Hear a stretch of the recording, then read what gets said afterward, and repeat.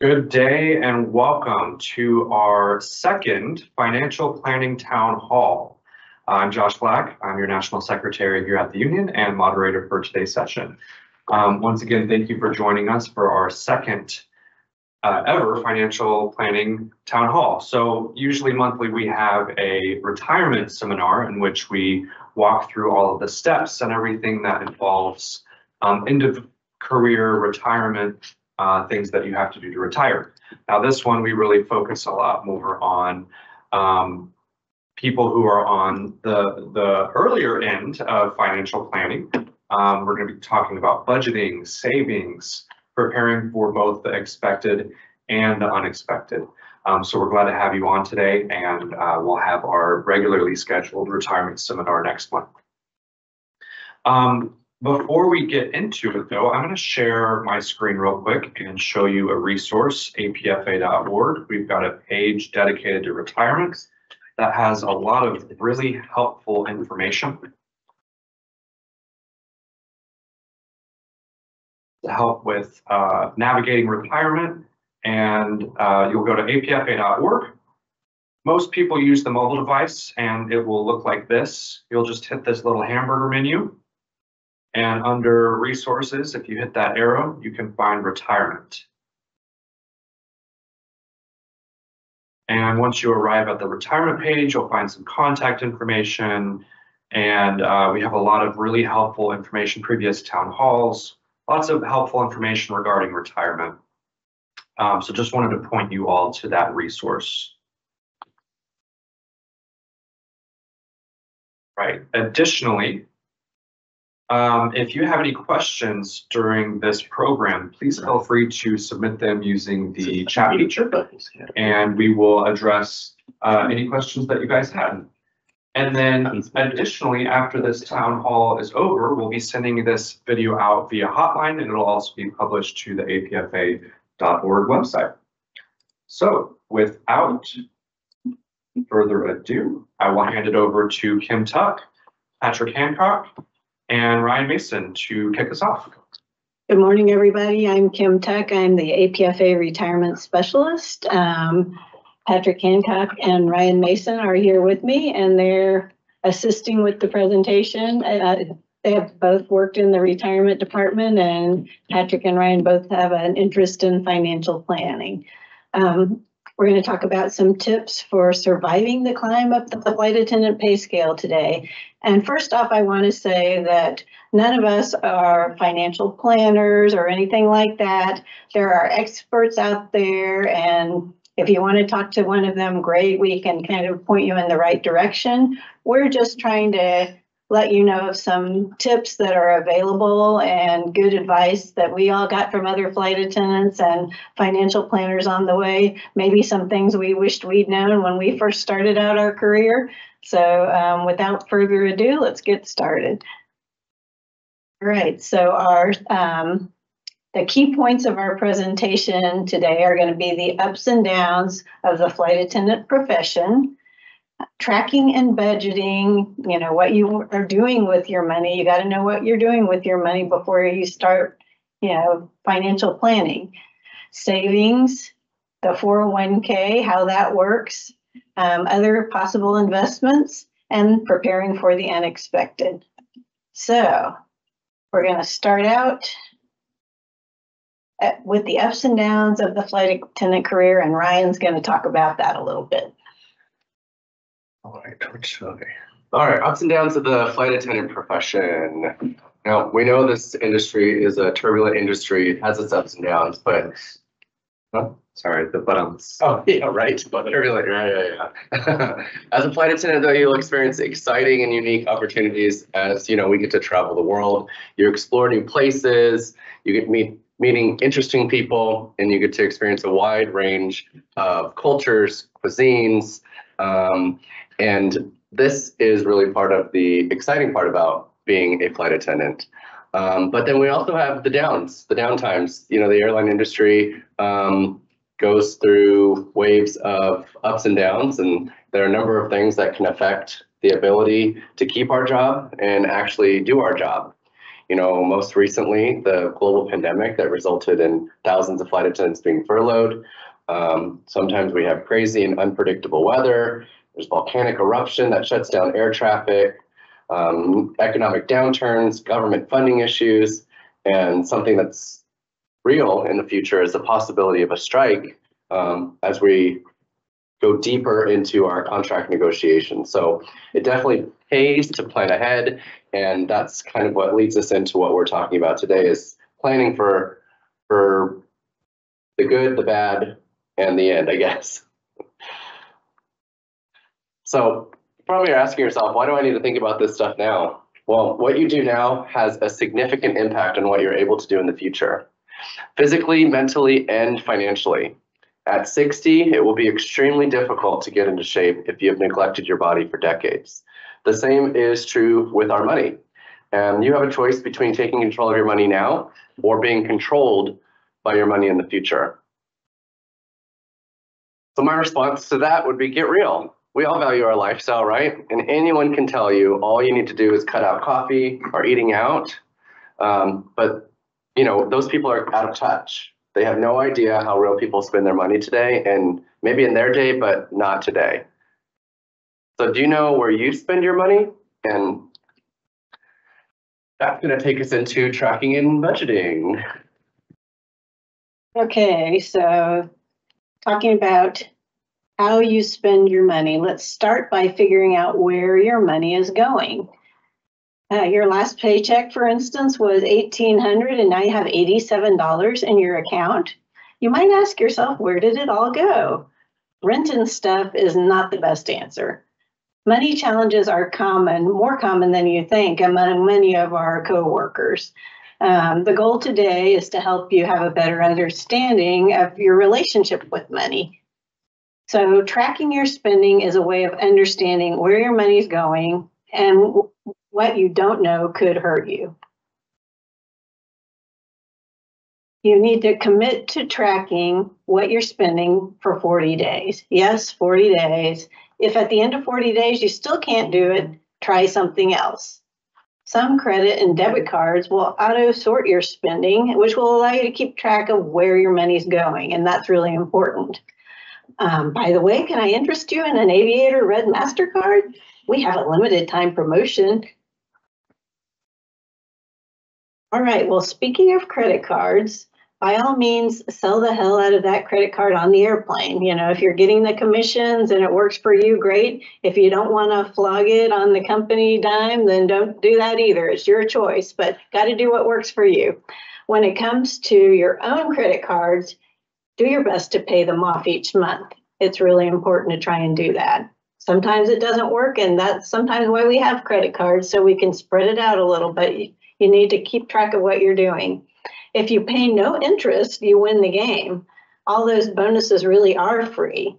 Credit card companies hate this. So if you, you want to get a big purchase and spread it out over six months or a year, just make sure you keep up with it. And because they love it when you have to pay late fees and you know extra interest and everything. Using your credit cards responsibly and getting a good credit rating, good. Paying late fees and unnecessary interest, bad. So we're going to talk about tracking and budgeting. Yes, the dreaded B word. No, not that one. Budget, budget. Uh, now that you've figured out or you've started to think about where your money is going, it's time to ask yourself, is there a better way to allocate my funds so I can put something aside, cover my expenses, and still have some money left for fun? We know budgets are boring.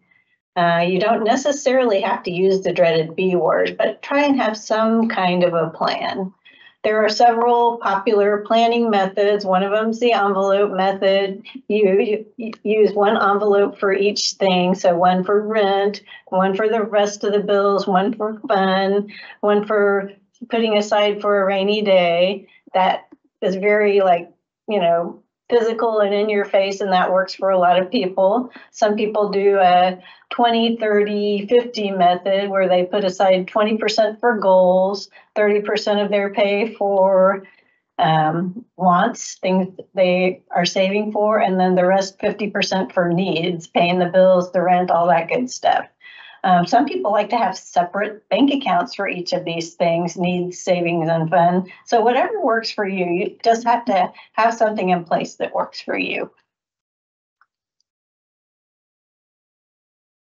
And there are apps out there. There's an app for most things these days, and we've compiled a list of, of you know, with our online research apps that are come highly coming highly recommended. So according to what we've been able to find online, the best overall free app is Mint. The best app for beginners is called Goodbudget. Uh, good app for serious budgeters, You Need a Budget, Y-N-A-B. I I think uh, Ryan may have used that one. I use that. Josh uses that one. Um, best paid app for tracking all your money and accounts, Quicken. I think Patrick uses that one. Uh, best app for small business owners, QuickBooks Online. So if you got one of those side hustles going and you need a small business owner account, that's a good option. All right. Who's going to talk about living on a flight attendant salary? Is it me or you? Okay. So living on a flight attendant salary, uh, we, as we all know, and particularly right now when we're in contract negotiations, it can be challenging, but especially when you haven't had a raise in so many years. So um, arrange your life if possible to live on your guarantee. If you have to fly 100 hours a month, you may be miserable if you're forced to, but if you can always pick up hours occasionally to cover those unexpected expenses. Small tweaks can make a very big difference. So the person that spends 98% of their income, it's going to be much happier than the person that spends 102% of their income. Be brutally honest with yourself about the trade-offs of saving money. Um, balance what you need to save and living your life because you know, enjoying your life is important too. That's why you always have to try and achieve some sort of balance. So think about this. You could commute to a lower cost city. A lot of people do that. That lets them live better and cost, but but that costs you a lot of time. So here's the trade-off. If that works for you, you should do it. Um, you could also live where you want with multiple roommates to save money. If that trade-off is good for you, go for it. Sounds good or held to the no? All right, any questions about budgeting and savings? Patrick, any good general questions about budgeting and savings?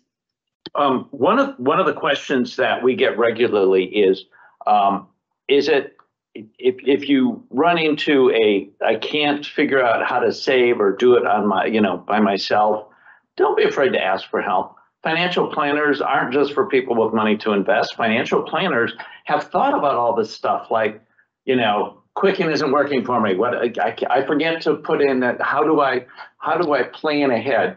Financial planners are great great for that sort of question.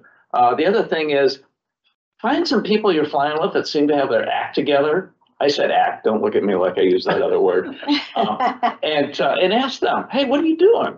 And try and find people that are similarly situated that that have a better handle on it than you do. You don't have to tell them they have a better handle because little bit over your head. But um, find find people that seem to be handling their their stuff and ask them how they're doing that. Um, the the good people copy, great people steal. So you know it's uh, ideas. So let's do it. And another good thing is if you make it a habit, you know that's going to help you a lot. It's hard at first, but once it becomes a habit and you just start doing it without thinking about it, I mean, you can accrue quite a bit of savings, you know, and it doesn't seem as painful, but at first it's always painful. So um, we're going to launch into saving and some tips for that. And uh, am I still talking about this? You're still talking. Okay. So tips for savings. Sorry, we tweaked our presentation and I'm a little rusty. So thanks for your patience. All right, so here's some good tips. Um, one of the best tips for saving is pay yourself first. So what does that mean? Paying yourself includes saving today and saving for the future. So you want to set aside money before you pay anyone else for yourself.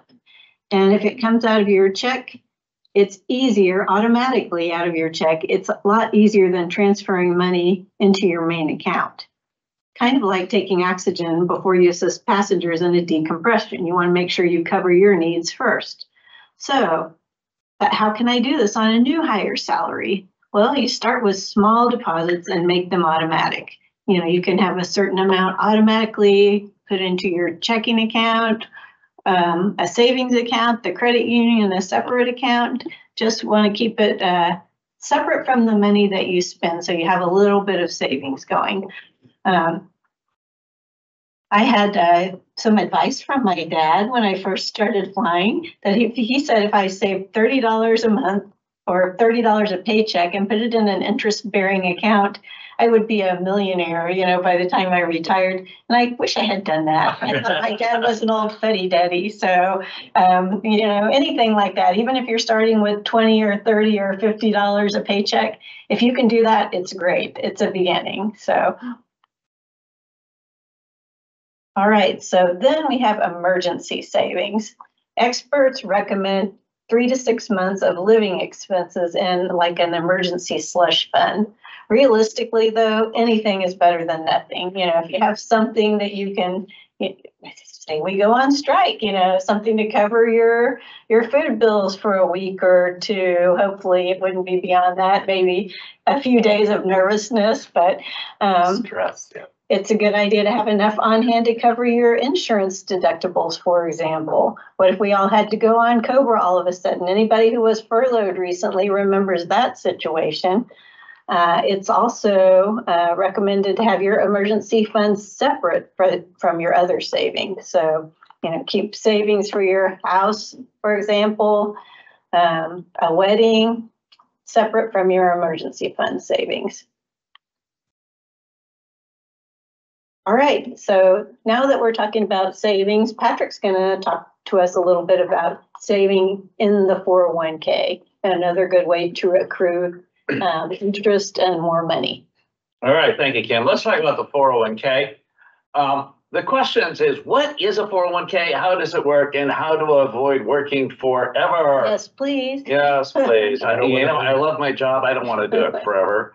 Uh, I don't want to die on the jump seat. Like Yeah. No, yeah. please no. Oh, oh, yeah. All right, let's talk about the four oh one K. The four oh one K is a company-sponsored retirement account, and you- despite the rumor to the contrary, you can start contributing to the four oh one K from day one of your employment. Now, the employer matching contribution, that uh, starts after one year of service, and so sometimes people get that confused in their head, but you can start from day one. The company contribution is going to be three percent, and they're going to put that into that four oh one K account, whether you do anything or not. The second part of the company money depends on what you do. It's a good idea to contribute at least two and a half percent, so you don't miss out on the free money matched from the company. If you don't put any money into your account, American gets to put that two and a half percent they were going to give you and put it in their pocket and apply it to their executive party fund. So don't, yeah, don't do that. So how do you contribute? Your contribution is designed, defined as a percentage of eligible income. Uh, you go to the Fidelity website and it says contributions, you click on that and you're gonna see several different types of, of contributions you can make. One is to the, uh, regular four oh one K. One is to the Roth four oh one K. One is to the, uh, after tax, ignore that one unless your financial planner told you to do that. And then there's the, um, special, I forget the name for the, uh, the special, uh, Ketchup. Okay, the, the- yeah, special, yeah, special elections. Uh, and that would be for like profit sharing, which is a timely topic. So when you got your profit sharing check, they didn't look and see what you had defined up at the top under the regular or Roth. They looked at that bucket to see whether or not you wanted any of that to go into your four oh one K. I talked to a friend yesterday who looked up their, their profit sharing and they said, they didn't take anything out of my four oh one, for my four oh one K. I said, go to, yeah, they had left that at zero, so they weren't able to make any contributions to their four oh one K out of that. So you want to make sure that you get that filled out as well. Um, how much can you contribute? Well, in twenty twenty-four, you can put in twenty-three thousand dollars. Woo-hoo. Woo-hoo. Um, of course, you probably can't do that if you're a new hire unless someone else is paying your bills, but. And that maximum is indexed for inflation. It just went up from, uh, from twenty twenty-three. Uh, and it moves up in five hundred dollar increments. The twenty twenty-four catch-up contributions are seventy-five hundred. What's a catch-up? Well, they know us boomers, we're terrible at saving because we were never gonna get old, we were never gonna retire. So we didn't bother to plan for retirement. Don't, don't be a boomer, don't make those mistakes. Because now we're making up for it by doing these catch-up contributions in addition to the twenty-three thousand, we're putting in the seven thousand five hundred. So we're putting in thirty thousand five hundred, which means we are living on nothing. We Okay. wish we were doing both of those. Yeah. Some, some of us You're are not? and some of us aren't. Okay, boomer. Yeah, yeah, okay, yeah. So, and the good news is, is that even if, if you are actually doing that, you're contributing the full thirty thousand five hundred, what's that mean for your company contribution? The good news is the company contribution is over and above that. So you can put in this amount and it doesn't, what the company puts in doesn't affect that at all. So there are two ways to, two options to contribute. One is the traditional four oh one K, and that's the one we always think about. You pay no taxes when you contribute, but you pay taxes on the contributions earnings. In other words, everything that's in there when you withdraw. And uh, how much tax you're going to pay depends on how much income you have in the year in which you withdraw. Then we've got the four oh one K Roth. Uh, and the Roth four oh one K, you pay taxes on the money before you put it into the Roth which, you know, you're like, wait, I'm paying taxes on the money I'm not gonna get. Yeah, you're not gonna get it now, but here's the thing. You pay no taxes on the withdrawal and you, the money you put in, and you pay no taxes on the interest that it earned. That's really cool. That's tax-free money. You should know that even if you do hundred percent into the Roth four oh one K, and if you're kind of junior, that's really a great thing to do because you'll see in a minute that, that the interest is the important part of the four oh one K the employer contribution match is always going to be placed in the traditional account. So even though you're putting hundred percent into the Roth four oh one K, you're going to have money in both buckets. How does that compare to the other options I have out there? Well, we just said you've got that uh, twenty-three thousand, seventy-five hundred catch up for the four oh one K or the four oh one K Roth. The IRA is seven thousand. Wait, that's a lot less. Yeah, you can max that out pretty easy. Plus a thousand for the catch up, same numbers for the Roth. The simple IRA, you know, we were talking about that side gig, so you can put money into, out of your side gig, uh, into the simple IRA. Could I do both? Could I do all three? Absolutely. Health savings account, pretty cool thing. If you, uh, if you can do the core plan, you have an option for a health savings account. You can put into a max of forty-one fifty, uh, plus a thousand catch-up. So that's another option yet. Talk to your financial planner. Did you know that Uncle Sam will pay you to save? Yes. Um, if you are single, married, filing separately, or qualified widower, and you make, um, less than twenty-three thousand dollars, Uncle Sam will give you a refundable credit of 50, 50% of your contribution. What's that mean? That means if you put ten thousand dollars into your, uh, well, say you put four thousand dollars into your, uh, four oh one K and your adjusted gross income, and that's after all those deductions. So even though twenty-three thousand sounds a little low, remember, that's after all your deductions. If your adjusted gross income is twenty-three thousand dollars, Uncle Sam will give you two thousand of that back in your, your taxes, which is pretty cool. And that, those brackets go up as you get to head of household, married filing jointly. And, uh, this is, this is really cool if you, if you are at beginning of your career and you have, you're in the lower pay brackets, Uncle Sam will help you save for retirement. What's vesting? No, that's not that pretty blue thing you wear on your uniform. No, no. Vesting means it's your money to take with you when you leave. You're, you're always hundred percent vested in your own contributions, which means if you put in hundred dollars, you can take that with you when you leave. It's yours.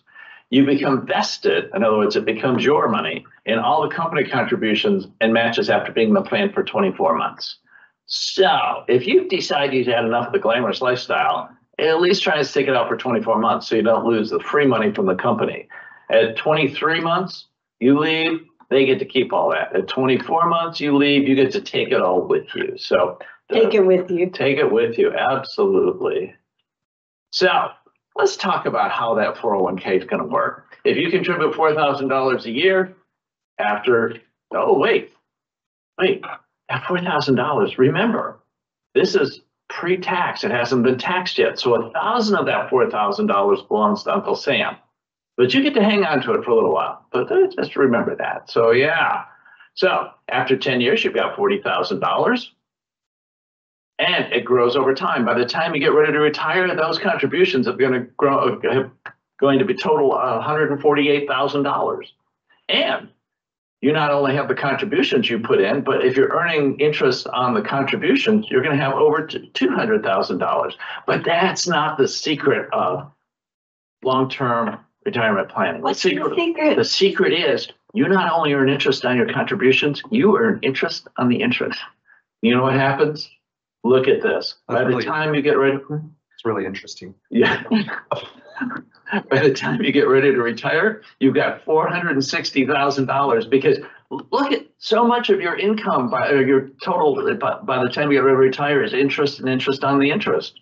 So, yeah. I call, I- if you, you look at that, remember that four thousand dollars from the first year? Well, a thousand dollars of that belongs to Uncle Sam and he wants it back. So what happened to that thousand dollars?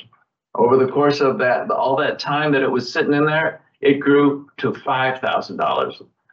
So Uncle Sam gets his thousand dollars back, you get to keep the four thousand dollars difference. So you've been earning interest on Uncle Sam's money. That's the cool thing about deferred uh, taxes, uh, deferred taxes on retirement savings. You get to earn interest on Uncle Sam's money. Now, the problem is you still pay income tax on that four thousand dollars, but I'd rather pay tax on four thousand dollars I did, I have than for not pay tax on four thousand dollars I don't have.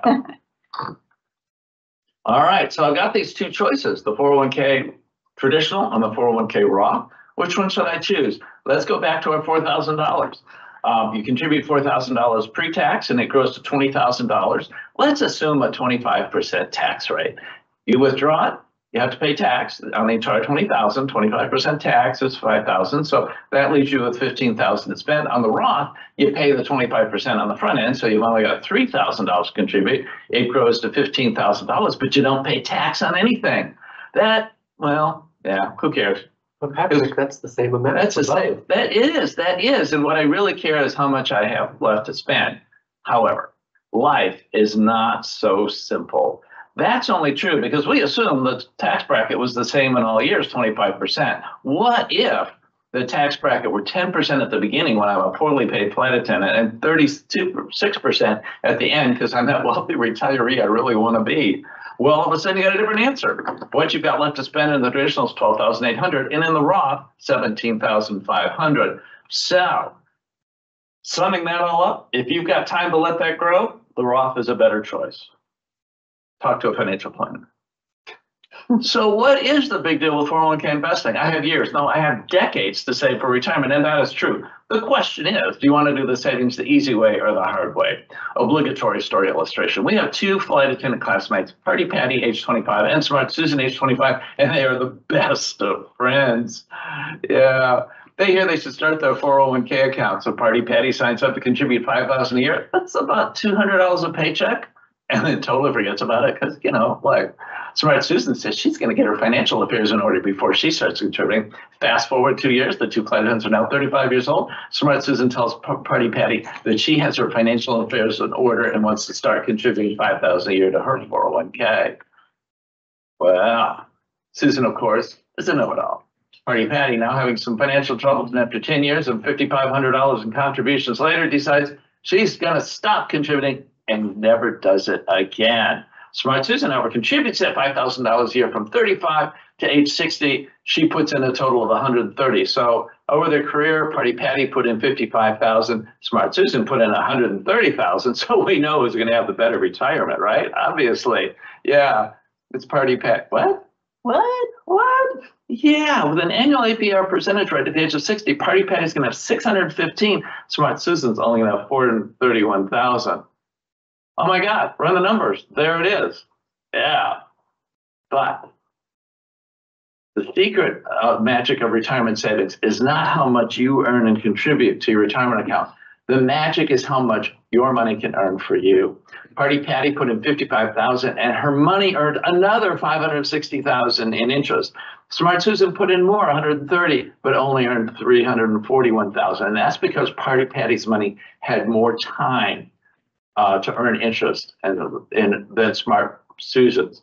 Remember in high school economics, I used to hate that stuff, but you know, the dollar uh, today is worth more than a dollar next year. That's the whole time value of money thing. Yeah, the flip side of that is true as well. A dollar saved today is worth more than a dollar saved at sixty-five. How much more? Well, let's look at this. If you save a dollar at age fifty-five, at age sixty-five, it's worth a dollar forty-eight. If you save a dollar at age twenty, it's worth five hundred eighty-four. So even though it's harder to put the money in now because you're not, know, yeah, it's going to be worth so much more when you final, finally get to retirement age. You know, and it, it is all about time.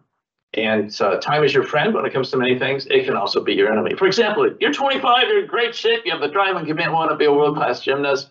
Yeah, too late. Gymnasts retire at age 25. So that ship has sailed and you waited too long.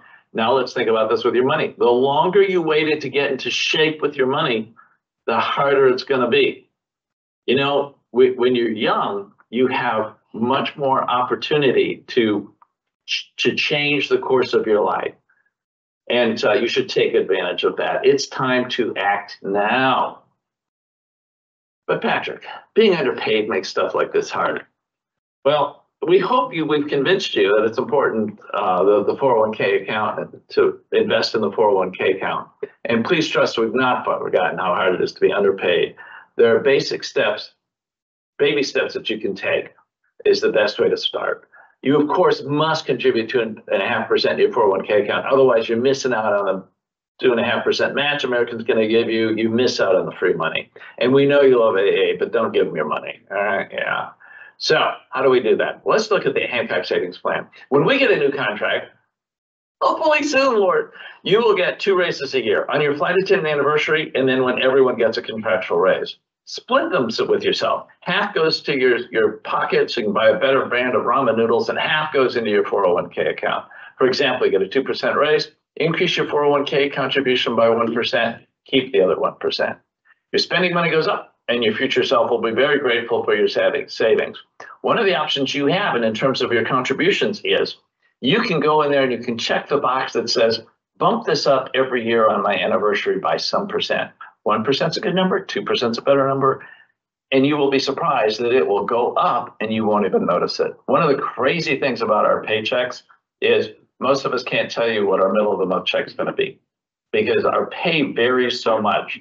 It's always kind of a surprise. I mean, how much? Oh, or oh, yeah. So you can you can have that contribution rise automatically, and really, I tell you, you're not going to notice it. So yeah. So that's the Hancock Savings Plan. Let's talk about investments.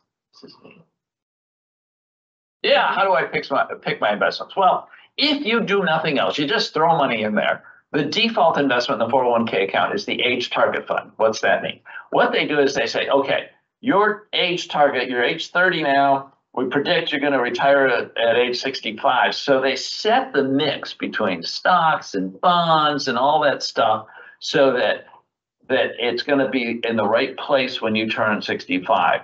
And uh, as you get old, get older, it becomes less aggressive. So that by the time you get ready to retire, you're in pretty conservative investments. Because if something terrible happens, like the stock market goes down again, and boy, over the last couple of years, we've just been on a roller coaster ride. and if you're closer to retirement, you're not going to have as much time to recover from a down. So we make it much more conservative that the downs are much easier. The problem is that also means the ups are, are, are, less steep as well. If you're younger and the market goes down, you still got 30 years to recover. So that's why it becomes less and less aggressive as you get closer to retirement. If you want to go in and do it, there are like 26, uh, do it yourself, there are like 26 different investments you can choose from, all kinds of things. High yield bond fund, large cap stock index, emerging markets, um, you know, which is all the new techie thing stuff. U.S. small cap and index fund, which I like to think of as like the Main Street investing. You're you're investing in the folks that are just starting out and going. If handling your own investments and going through those and makes you nervous, there are options out there um, there that you can you can uh, seek out for guidance. There's a four oh one K maximizer email, uh, uh, email account. There's a Easy Tracker. They contact them at Easy Tracker four oh one K. The AA Credit Union has free financial advisors for its members and they can, they can advise you on, on how to invest in these things based on your risk uh, tolerance. Fidelity offers investment services for a percentage fee. The fee depends on how much money they're managing for you. Uh, and, uh, you know, th- there's lots of places to learn. Uh, podcasts and online videos are available for any kind of investor if you want to further your financial education. So you can get yourself educated, do it yourself. You can get outside investment. Um, you can you can get all kinds of different financial planners. Just make sure that if you get a financial planner, you know what how they're getting their money, how they're getting paid, because you want them to be picking things based on what's best for you, not what gives them the biggest commission. And these are all just examples. APFA doesn't endorse any of these people. Just uh, you know, look around and, and you can start looking around with these folks. What if you're a do-it-yourself investor, you're educated, you want to do all this stuff? You can invest your 401k in almost any legal US investment without the, within the protection of a 401k. Wait a minute, Patrick, you just said there's 26 investments. Yeah, there's a 27th. And the 27th is the brokerage link. And uh, it's a stock investment option inside of the 401k. How do I do that? Well, you go online, call Fidelity, open a brokerage link account, and it's like a 27th investment in there, and you put money into there. And once you've got money in there, you can invest in almost anything sold on a US exchange, like stocks, mutual funds, ETFs, ADRs, GDRs, commodity futures, and coming soon, crypto is coming. You can even invest in crypto inside of your 401k through the brokerage link account. Is there something you can invest in? Yes, there is. You cannot invest in American Airlines stock, which is probably really good advice, actually. Yeah. Love you guys, but yeah, not buying your stock. So, all right. All right. Josh, we have questions. Yes. All right. Um, as a new employee, when does the company match contrib- uh, contribution start? That's a great question. So as a new employee, um, you can, um, you can start contributing to your 401k from day one. The company match and the contribution will start after one year of service. Let's see, what else we have? Uh, how do we go about changing traditional IRA to a Roth IRA? Well, you've got a couple of options on that. Um, the challenge is, you know, the Roth contributions are after tax. The traditional are before tax. So if you can take it out of the before tax and put it into the after tax, right in the middle of that transition is tax. So you have to pay tax on it when you do the transition. Um, and the thing is, it's not like a separate taxable thing. Say you take fifty thousand out of one and put, they take that fifty thousand and they add it to all of your income for taxation in that year, which means you may put yourself into a higher tax bracket because you added all that extra income in that one year, even though you didn't get a dollar of it because it all went over there. So you wanna, you wanna do that with some advice, because some good tax advice. Talk to a financial planner and add, tell them you've got a tax question. Some financial planners are going, no, no, no, don't talk to me. Here's, here's a guy, call this woman, she's got good information. Um, and others are, are educated on it and will give you, but, um, you do it by going online at, uh, Fidelity, filling out the, the transfer form, and, uh, they do the transfer and send you the tax uh, notice and the tax income information. It's easy, it's just hard because of the taxes. And I think we had a question from someone before, I don't know what happened to it, about, uh, he seemed like a pretty savvy investor and he had studied financial planning. So again, we're not credentialed, we're, we're just, you know, sharing good advice. Yeah. Um, but if Pointing in The right direction. if you have heard that something like an S and P five hundred mutual fund is the best investment and that's what you want to invest in. And that option is not one of those twenty-six options that's listed there. You can go through the brokerage, window that Patrick was talking about and invest in that if you'd prefer to invest in that. So even though it looks like we're limited, you can, through that brokerage window, invest in pretty much anything that you want. What are the advantages of reaching 59 and a half concerning the four oh one K? Is it a good time to move money away from the four oh one K and into an IRA or Roth IRA? Um, the, there are advantages and disadvantages. Uh, the, the problem is, is that the, the advantages in a four oh one K and an IRA are that people inherit it different. Your costs, what, what it's gonna cost to have someone hold that account for you are different. And, uh, your investment options aren't gonna be any better in the IRA unless you really wanna buy American Airlines stock. So, um, a lot of people will tell you you need to move it from the four oh one K to an IRA for more flexibility, but with the brokerage link window, I'm not sure what other additional flexibility you have. If someone tells you that, just make sure that they're telling you that you've got good reasons to do it and not just, uh, when you move that huge chunk of money into the IRA, that that person gets a commission on you moving it in there. Right, uh, we are good to continue. Oh, sorry, I think we've got to Uh, explain catch-up contributions. Sure, catch-up contributions are for people over the age of fifty that didn't do a good job before the age of fifty, and now they, now, now they need to catch up. And, uh, that allows you to exceed that annual maximum of twenty-three thousand dollars, uh, by, by an additional seven thousand five hundred.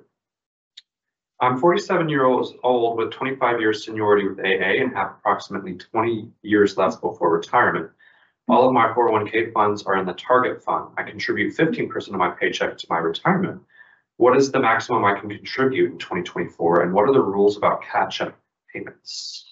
Good question. You- Okay, you're too young for the catch-up because you're not yet fifty, but remember that because when you hit fifty, you'll, yeah, put, put that on your fiftieth birthday cake. And good, good for you. Good Yeah, for you good for, for you. good for you for fifteen percent. Excellent. Great, yeah. Yeah. Yeah, yeah, you're, and, and that's it. You're, you're in a, you're in the sweet spot right now. You're, you're on track, you're on track, you've got money.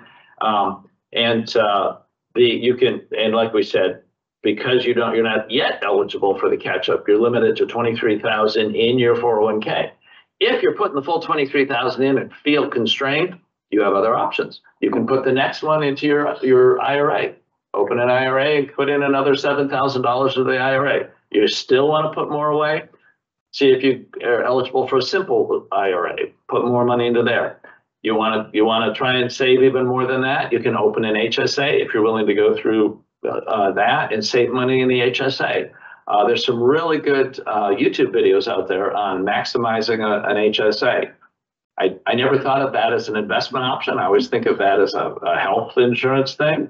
And actually, you can use it as an investment option too. After you retire. Patrick, can you tell us, um, when a, when somebody meets that max, that four oh one K max, what happens? If, if they, let's say they met the twenty-three thousand in, um, September and they were still, does it automatically stop or do they have to, um, reconcile at the end of the year and pay money back or how does that work? The, when you hit the max, they stop taking money out of your check. You'll get your middle of the month check and go, Uh, this is that's way too much. What happened? Yeah, that's because you maxed out. So they automatically stop that. Um, and, uh, uh, you, you can, you should pay attention to that. And if you're putting that much money in, you're, you're probably paying attention to that. And, uh, you can then redirect to an IRA or your, your alternate investment options. Good Yeah, question. I think this member also asked, what's the max that you can contribute in terms of percentage?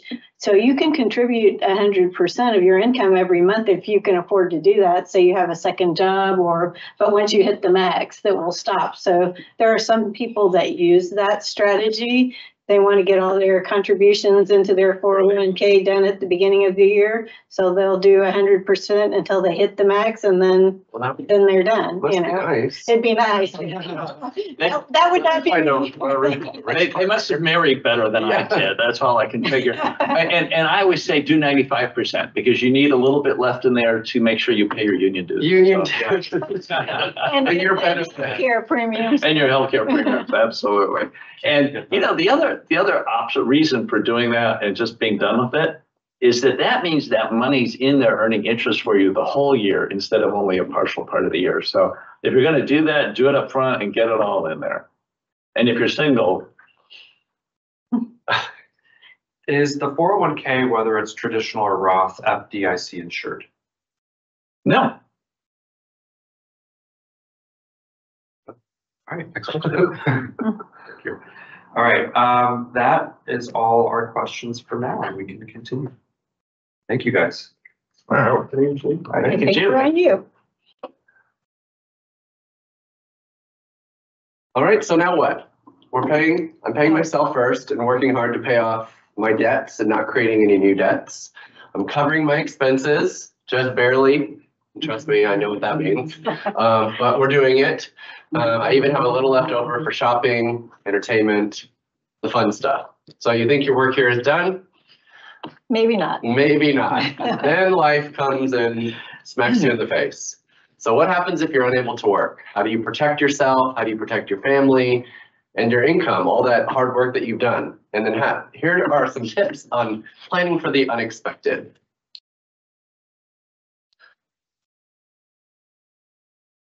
So preparing for the unexpected, we have protection available to you. APFA has negotiated um, in our contract with the company sick time, we have maternity, disability. We even currently have one year of active premiums for your health benefits if you are out on an unpaid leave, which, as Kim had mentioned earlier, the active rate to, and going into COBRA, Two different things. very different in amounts.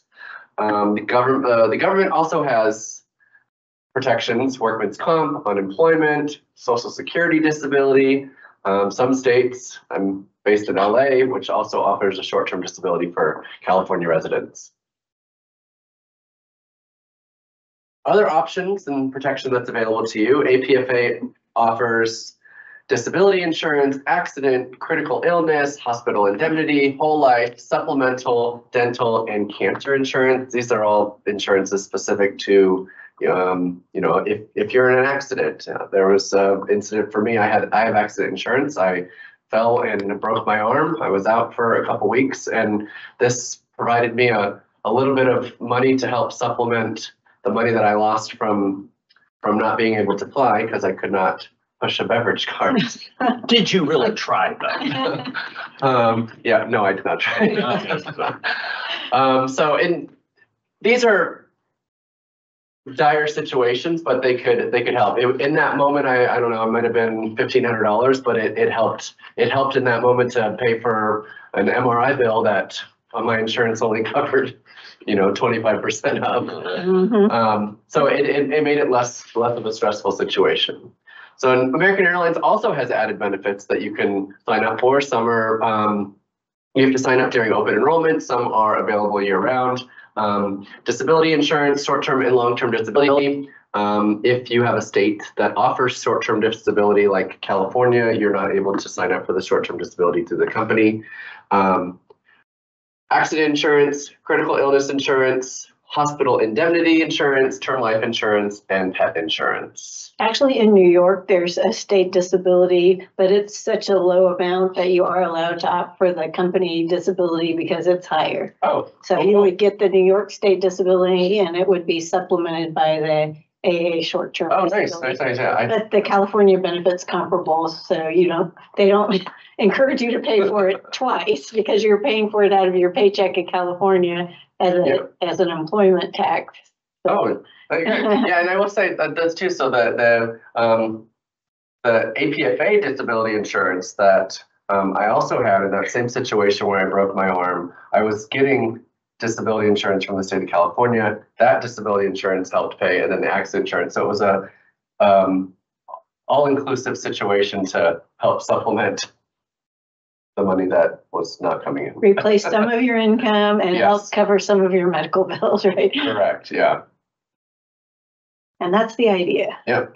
But I'm young and healthy. You know, the easiest and cheapest time to get life insurance, disability insurance, and long-term care insurance is when you're young and healthy. Um, when you get these insurance, insurances, insurances? This coverage or. Sounds like a- I'll go with it. When you get these types of coverages, um, they oftentimes come with a, um, physical exam, medical exam, some sort of, um, blood test or, um, process in order to get approved. And so if you wait until you are older or have some sort of health issues, you can be denied coverage or be determined at a higher risk, um, which then has increased premiums. But when you do it when you're young, healthy, um, you can have, you can lock in those lower premiums and they don't go back if something were to happen to you, um, medically to, and then start charging you more, they wouldn't do that. Right. When you're first employed, they don't ask you any health questions at all. You can just sign up for everything, you know, but you think, I'm poor, I'm poor, it's all gonna come out of my paycheck. But think about doing it, especially having some disability insurance, because it takes a while to build up your sick time, you know?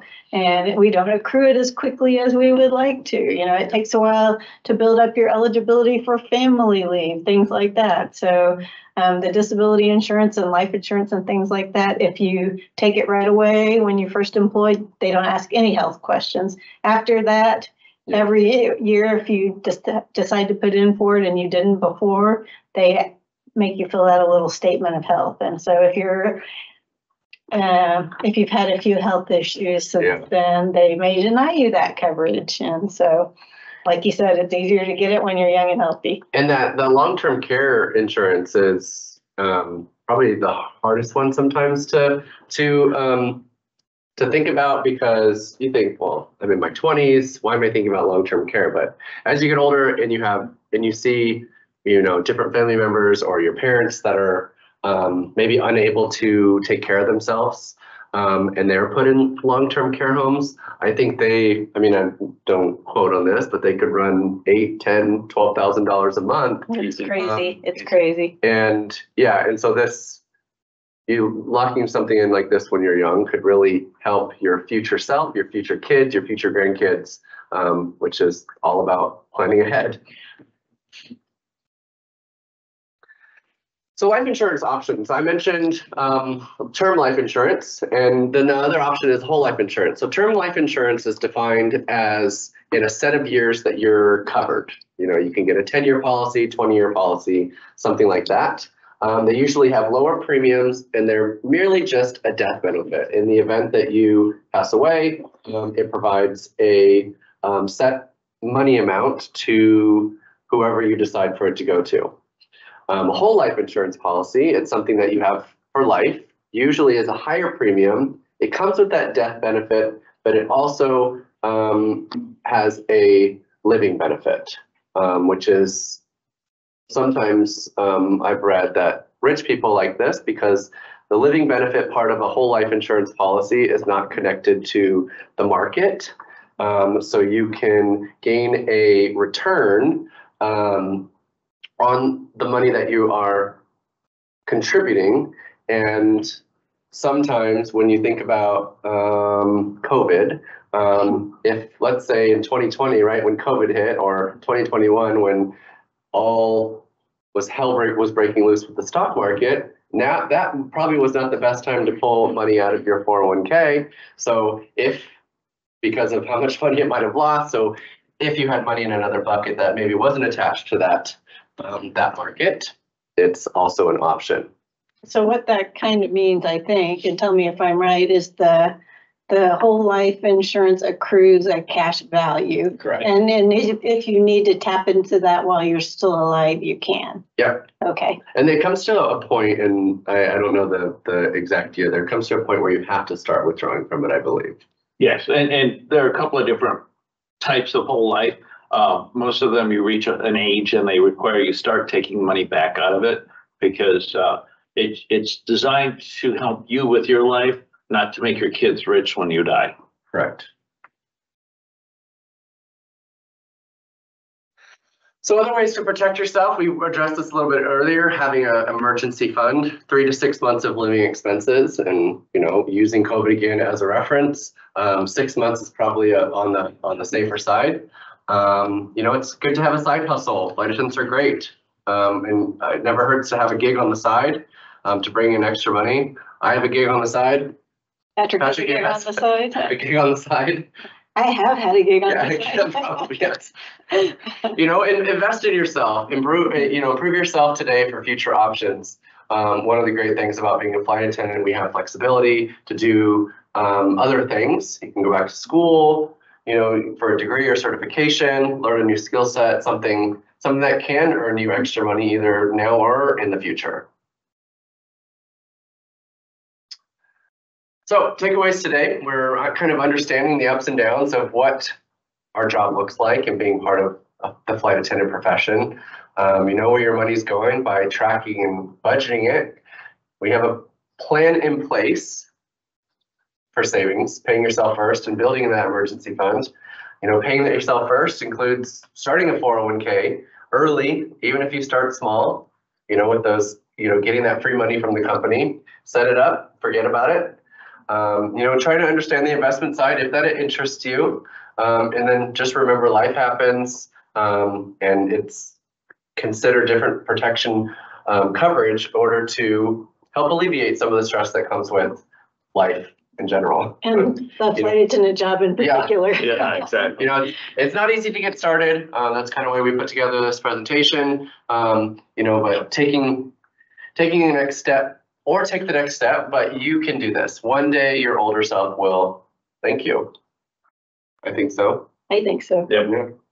My older self wishes I listened to my dad. Yeah.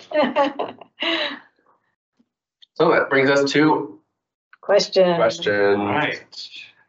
Well, first, while I pull up these questions, thank you guys. I know this is a lot of really great information to help people plan, and we appreciate uh, you going through this information. So the remaining questions that we have, and you guys feel free to send any questions that you may have still. Um, but the remaining questions we have are regarding some of our uh, normal retirement um, seminar questions, so we'll go through those, and then again, feel free to send any questions that you guys might have. Um, first, for those LAA employees who have part of our pension, is it true that if you are single, not legally married, you lose part of your pension? Insofar as part of your pension goes to a spouse, and if you don't have a spouse, AA keeps it? Question mark. I think I know where this is coming from and it, that's not really accurate. If you have a legacy AA pension and you retire and you're single, you don't lose part of your pension. You know, it's yours. You get the single life annuity or whatever option you choose. If you retire and start your pension as a single person, you can choose to have a joint annuitant or a beneficiary. So you still have all those options. The thing that is different with the legacy AA pension is if somebody passes away prior to their retirement. So if you were to pass away prior to your retirement and you're married, your spouse automatically gets a 50% joint and survivor annuity.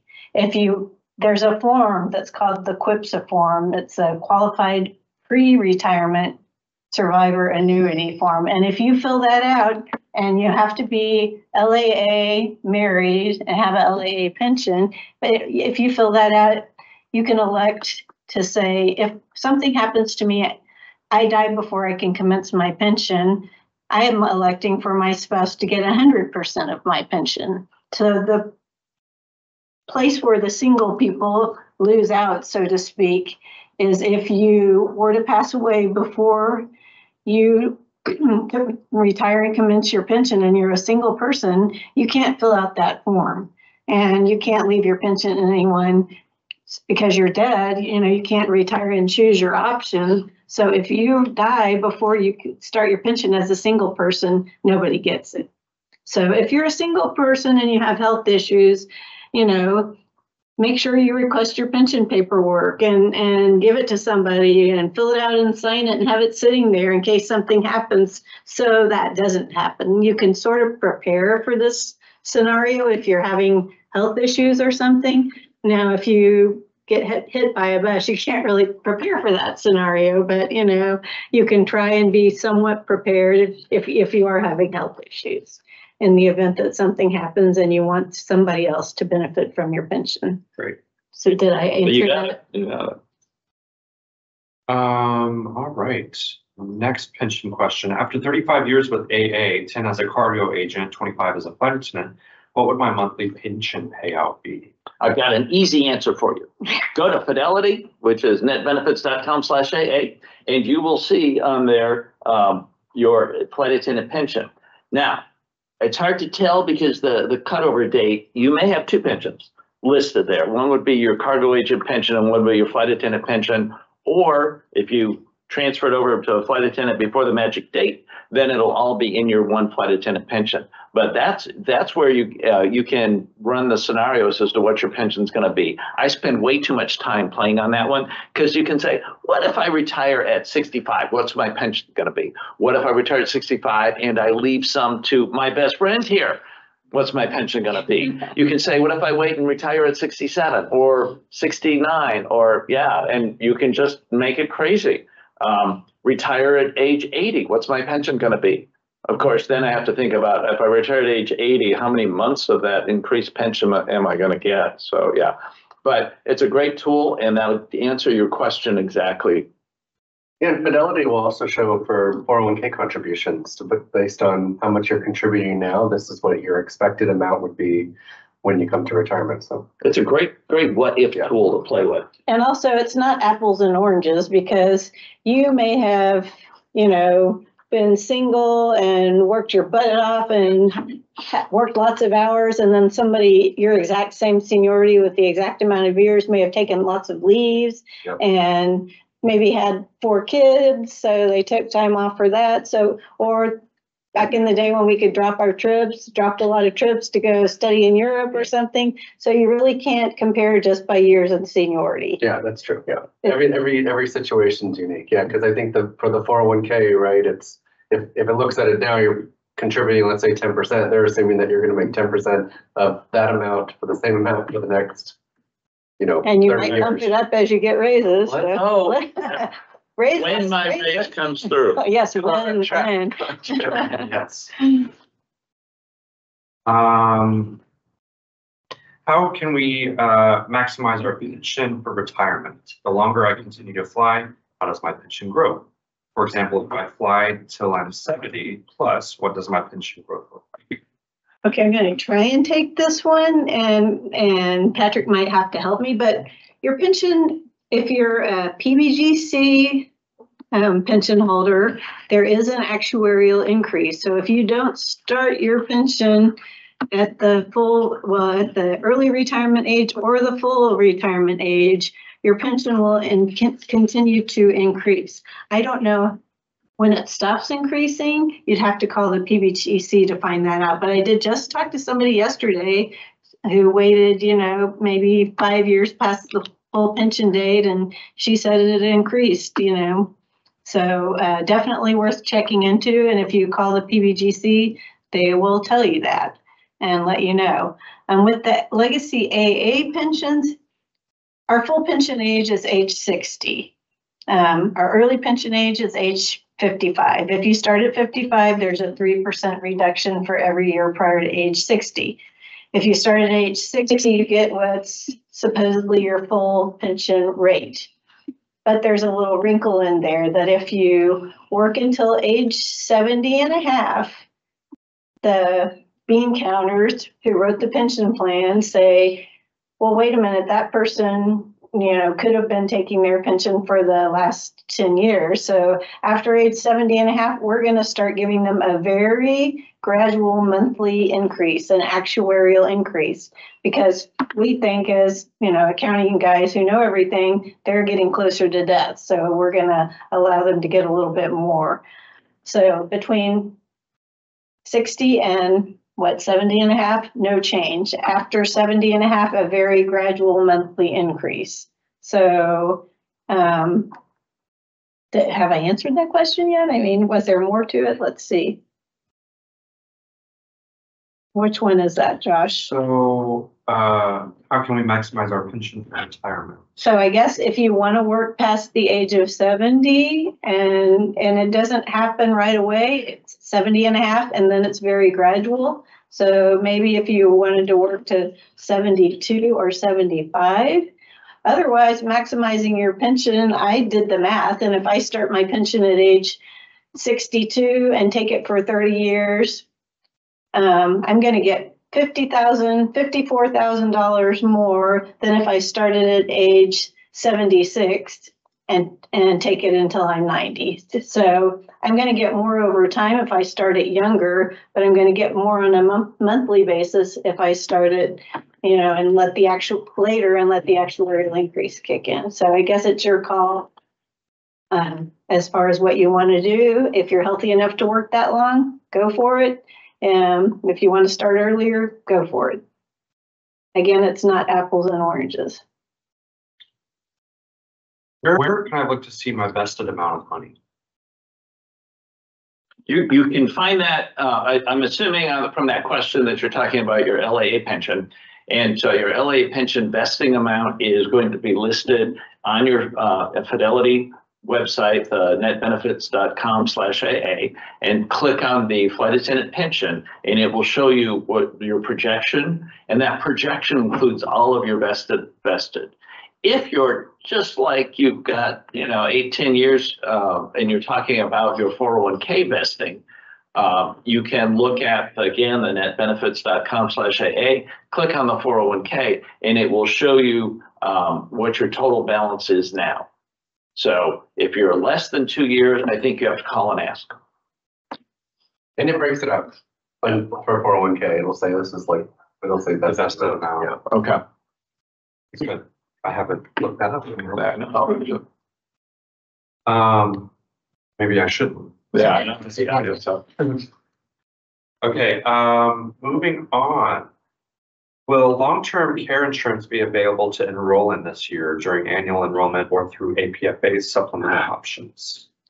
Um, AA no longer offers long-term care insurance, so they offered it once upon a time in the early two thousands, I think, and if you took it then, they offered it, you know, for a period of time, and if you didn't take it during that period of time, um, they quit offering it because the company MetLife that, uh, administers the long-term care policy quit selling those policies. So they're honoring the policies that people have, but they're no longer selling that product.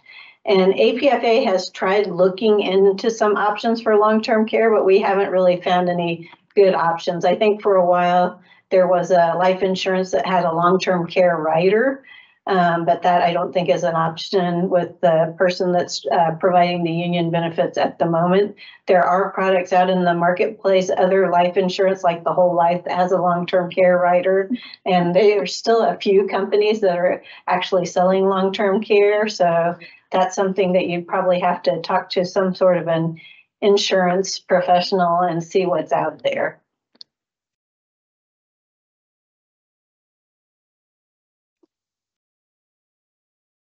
And if you were lucky enough to get one of those long-term care policies back in the day, make sure you take your premiums, pay those premiums because if you're, you're lucky to have it.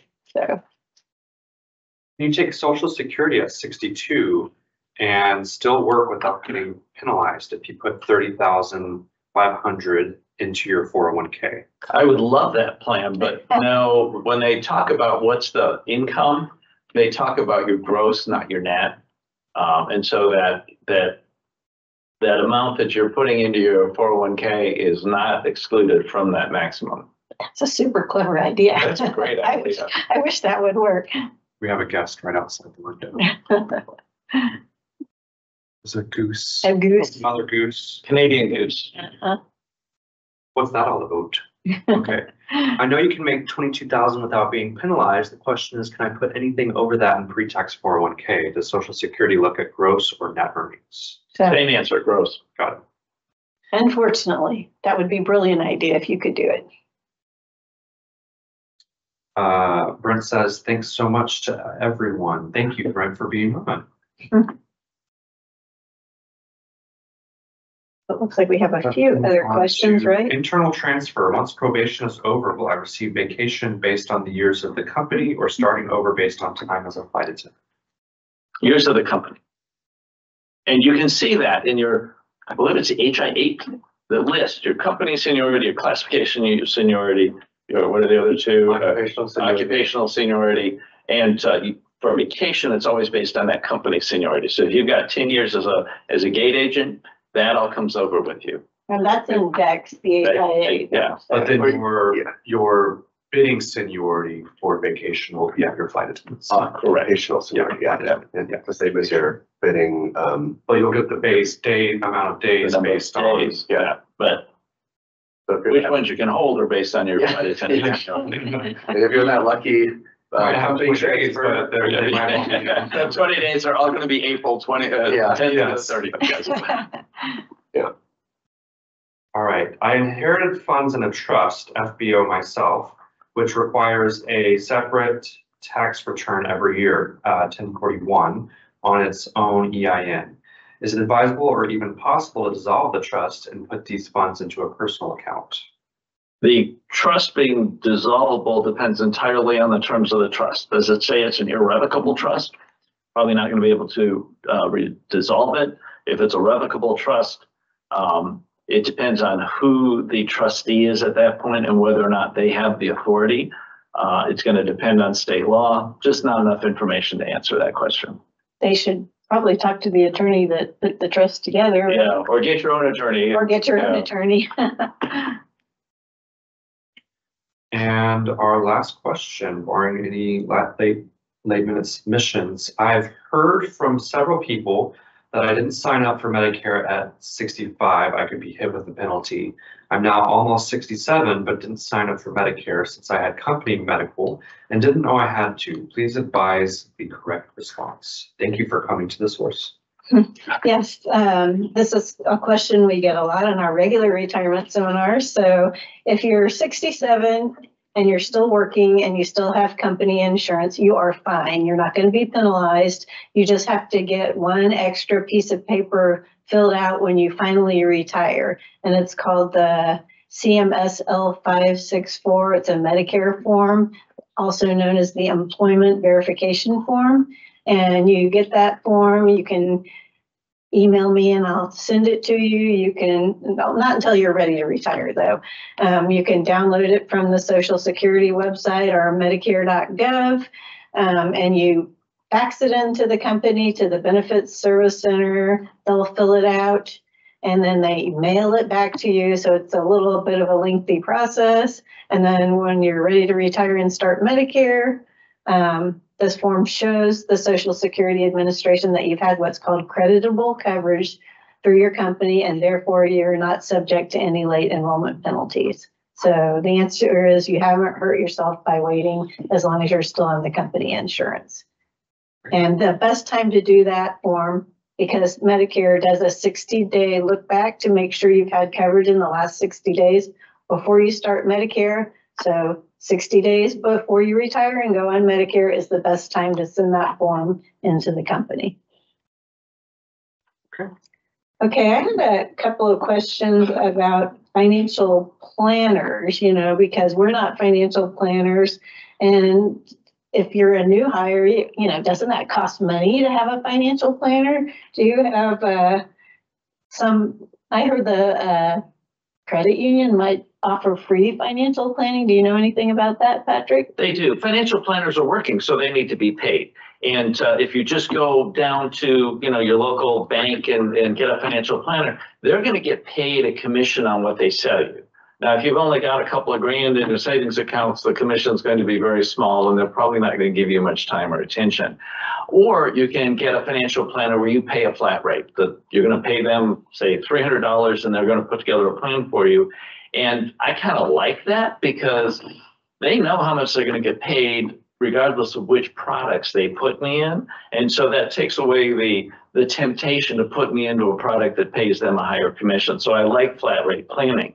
The uh, credit union also has financial planners and they're paid a salary by the credit union. So they don't get a commission and therefore uh, they uh, don't uh, have that same advantage of not being compelled to put you into a high commission product. However, if you're a member of the credit union and it costs you five bucks to become a member, they'll do that planning for free.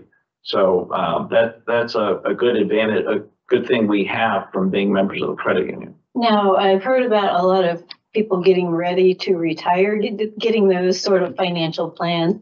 Would it make sense for a new hire that's trying to figure out how to save money to buy a house or a car or have kids or something to go talk about a financial plan at that stage when they haven't even really started? Yes, and, and the thing is, um, what we're, what we're looking for is we're trying to figure out, how do I get from where I am today to this goal? And frequently we talk about retirement as the goal. It's not the only goal we have in life.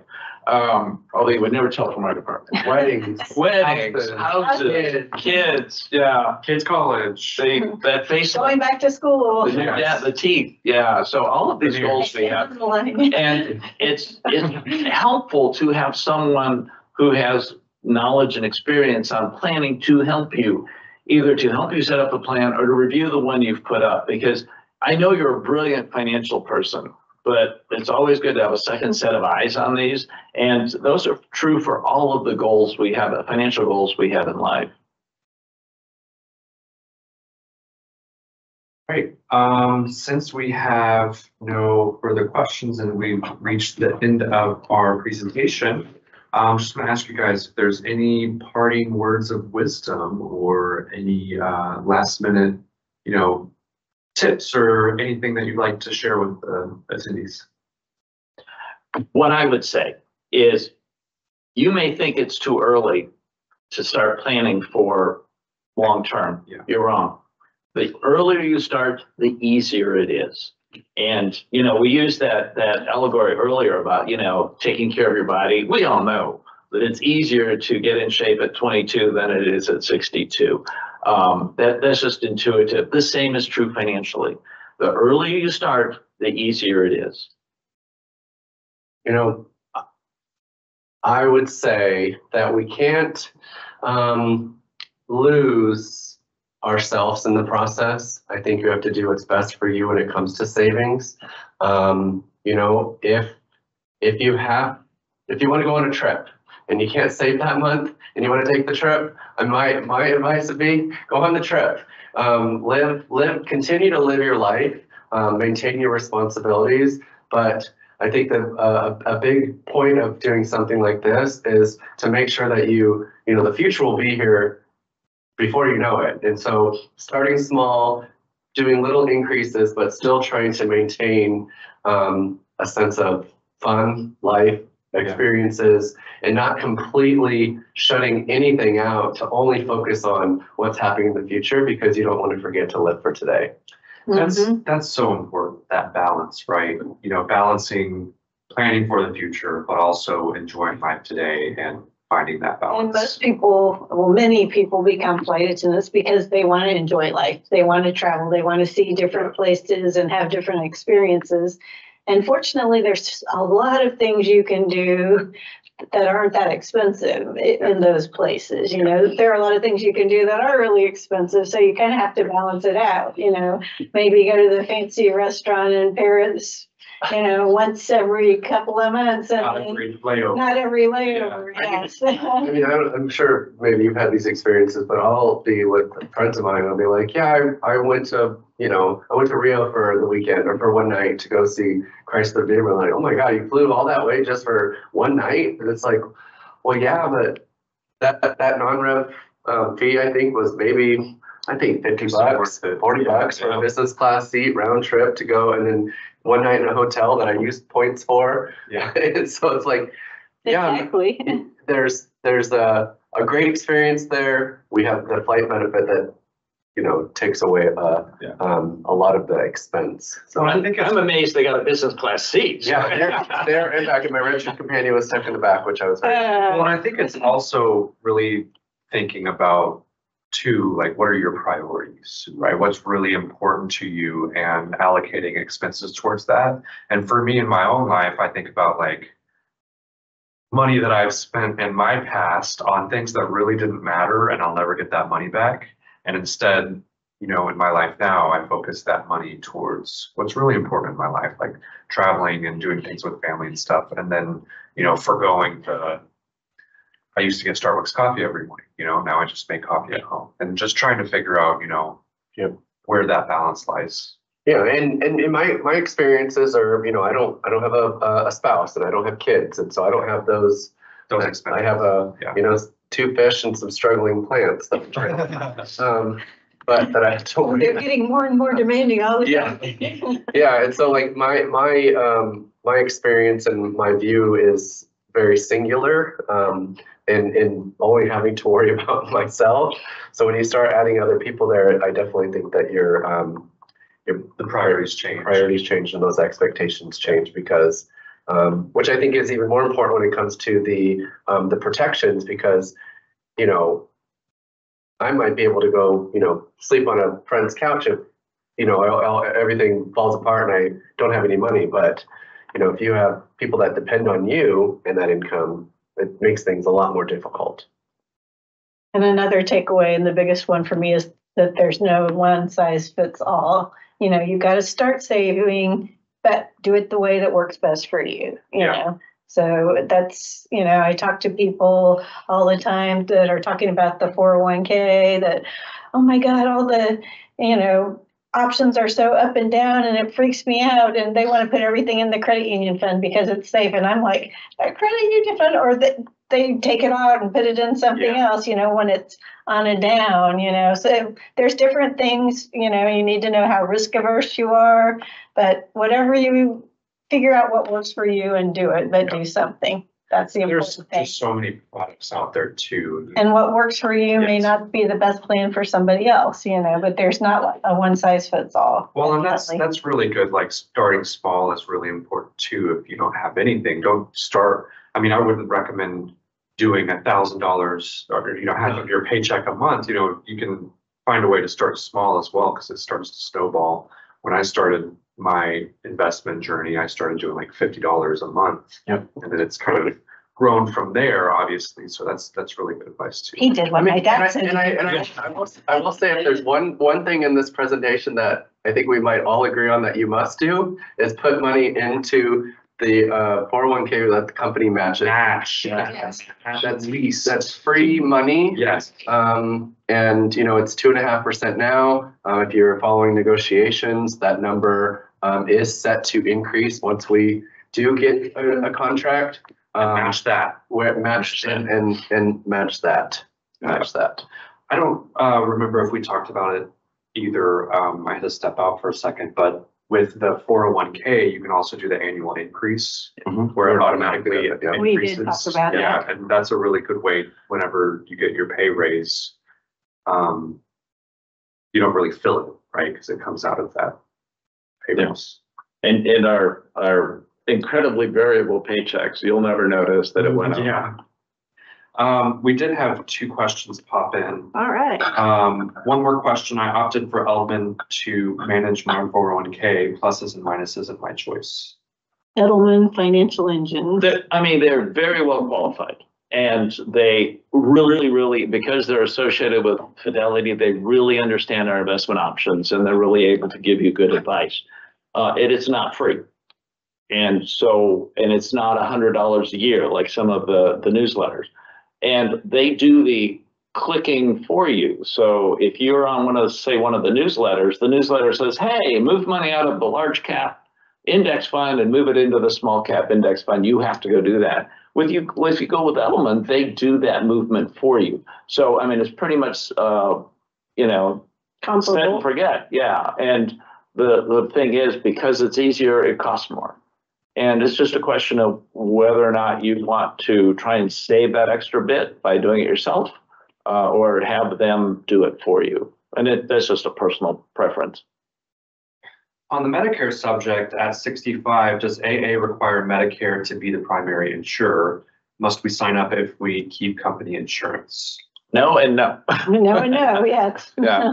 And, and actually, and we don't talk about it a lot, but sometimes signing up for Medicare at Part A at sixty-five could hurt you.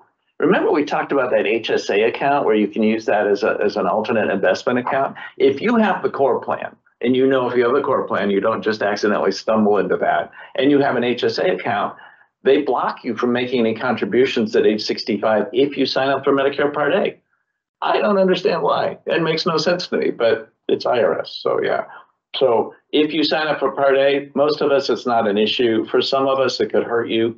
Um, so, yeah, don't do it. That just, you don't have to, don't bother. And some people do stumble into the core plan because that's the default plan for new hires. So sometimes people go, oh my goodness, I didn't make a choice and during the first benefits enrollment period they hit, they're going, I'm switching plan. Yes. Some people are fine with it because they're young and healthy and it still covers all their preventive stuff and their premiums are lower. So Yeah, I always think about, you know, Medicare sixty-five, but we have, we have some older new hires. So yeah, they could have stumbled into that. Um, I was thinking of my takeaway from presentation. So mine is regarding the power of budgeting and tracking your expenses. And there's, like they talked about, there's different products out there. Um, I personally use YNAB, you need a budget. Um, but there's Mint and there's other ones that people use as well, and they all have, you know, different capabilities. But I know for me, you know, I've been using, I've been budgeting for about ten years now, and early on, um, I was really struggling, like making ends meet, um, paying bills and everything.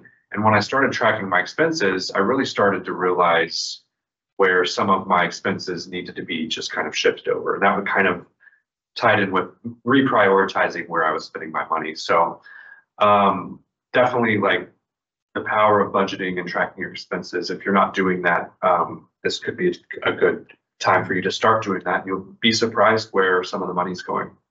You know, we've all heard the phrase knowledge is power and knowing where your money's going is really powerful. Yes, it is. And it's just not in our human nature to know how much we're spending if we don't write it down and track it. Yeah. Um, I, I assume there's some geniuses out there that can do that. I, I can't do it. I don't know very many people can do it. The apps make it so much. The apps easier. make it so much easier. I had, I had a, uh, a flight attendant call me a couple of months ago because she heard our first one and she started tracking it. She said, I found out I'm spending two hundred and twenty-two dollars a month on subscriptions. That's crazy. I mean, they come out at different parts of the month, and unless you're looking Yeah, at it as a whole, you know, the streaming subscription. week by week, they're yes. just coming out. and you Oh, it's a free it. trial, I'll sign up. Yeah. The free trials make it Yes, great. six months later, ah.